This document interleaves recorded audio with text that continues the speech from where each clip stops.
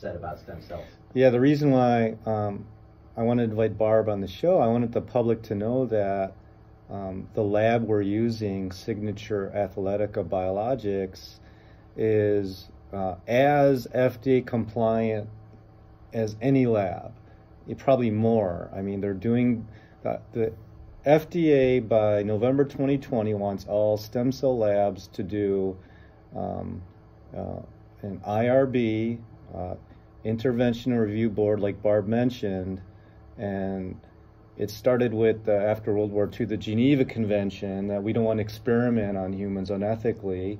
So we want a review board to make sure the clinical trials are done safely, ethically, and effectively. And uh, you know, she actually was at the American Academy of Stem Cell Physicians where I lectured uh, about a month ago, and she heard Billy Davis, the the Super Bowl champion, speak. So we're all kind of want to work together to make it safe, legitimate, and effective. All right? mm-hmm. So yeah, in fact, we're putting together a study. We're going to start with knee pain, right? Um, an IRB study, all right, on knee pain, and we'll probably do it on the former NFL alumni athletes who's suffering from degenerative arthritis of the knee. And that study, you know, will be conducted through FDA guidelines, and then, you know, hopefully that'll lead to approval. And that's why we hire PhD scientists like Barb to run these IRB studies. Yeah. That's great. Yeah. And so, then there's another study we might be involved with, uh, working with actually one of the Mayo Clinic family physicians who's he's on the same floor as me on my clinic in Orange County. So we might do another study on, on another condition um, with him as well. So it's exciting. Yeah. Yeah. So you're always sort of proving what works and what doesn't work. Like you're always on the on the side of caution and of let's make sure that we're doing the the absolute best we can for somebody who's coming in with pain. You gotta understand, uh, every doctor takes the hip, Hippocratic oath, which means first do no harm to the patient. All right? mm-hmm.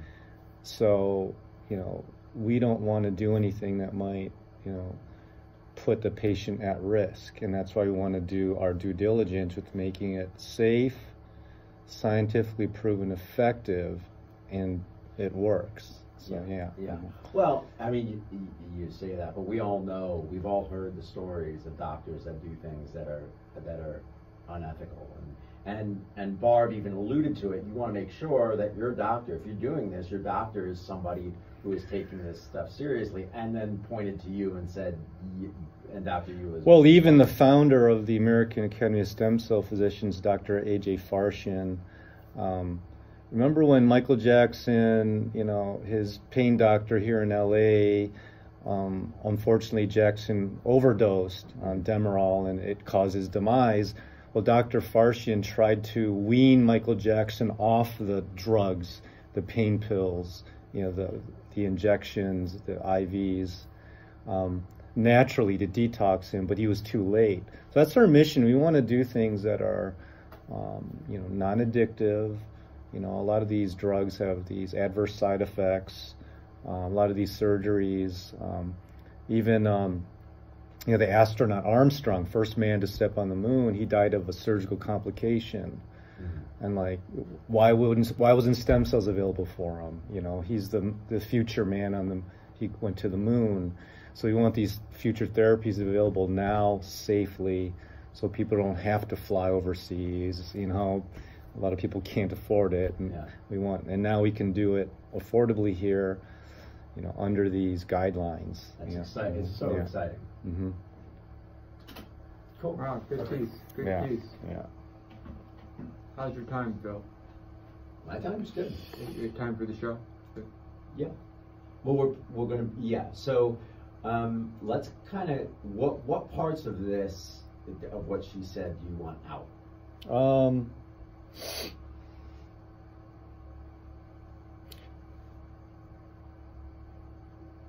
I'd say we leave it all in. Why not? I mean, what, what, do we have to hide? And right. she says it's not approved, but you know, you could still have it done under the study, right? Right. We're not. We don't want to deceive anyone, and that'll that'll ruin tr- trust. Yeah, yeah.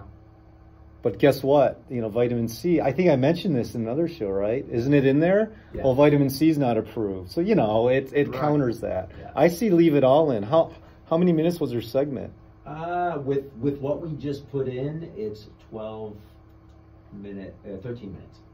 Yeah, just put it all in. Why Okay. not? Yeah. What do we have to hide? Yeah. I think it was great. I don't know if you heard her, but hear part of it. yeah. Yeah. uh-huh.